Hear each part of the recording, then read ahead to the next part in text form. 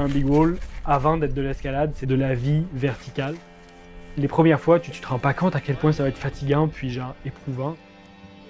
Il y avait peut-être une raison pourquoi cette, fissure-là avait échappé aux autres ouvreurs.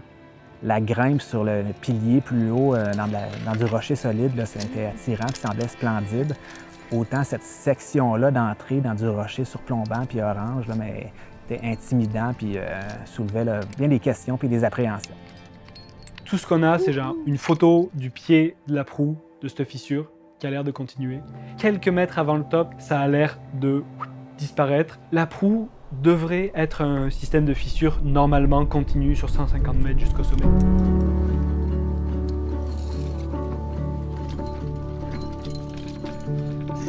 Je pense que une chance mon matelas est gonflable, ça va être comme dans une piscine.